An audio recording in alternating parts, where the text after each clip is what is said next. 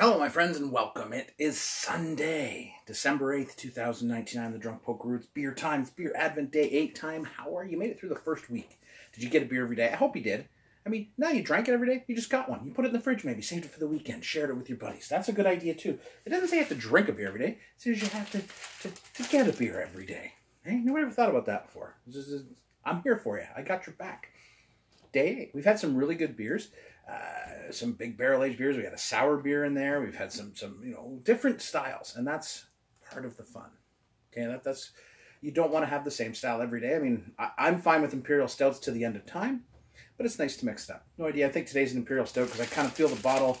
These are imperial stouty bottles that look. I can see below the cap. It's a red cap. I think I know what it is. But let's find out because that's part of the fun, isn't it? That's part of the fun. And it is. It's Royal City's Abyss Walker, 9%. Oh, okay. The Sigil series. Very excited. Somebody gave me this. I can't remember who. And I feel bad, but thank you. I want to think it's one of my friends from from uh, from the Toronto, from a Hamilton, uh, Oakville, Burlington uh, beer invasion a couple weeks ago. But thank you to my silent benefactor. And it is a nice dark beer. Um, you know, it's funny. I, I haven't been up to Royal City in a while, and I really should because they make some great beers. Good people, too been always been friendly with us and with everybody, really.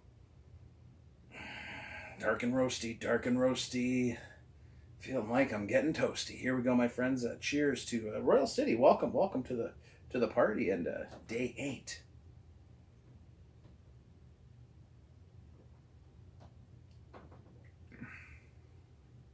That that is rich. Nine percent, mm, baby, nine percent. Big rich, roasty, dark bittersweet chocolate, coffee, smoke, licorice. Touch of tobacco in there. Touch of tobacco. I say, I say, I say, son, tobacco.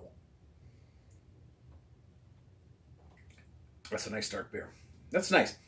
Not everything has to be bourbon barrel and that. At the end of the day, a good stout's got to stand on its own, right? I love the boozy buggers too, but if the underlying beer isn't good, then the booze is just covering that up. This is a very, very good beer. It is just, the head is just not going anywhere either. Like, that's luscious. Luscious.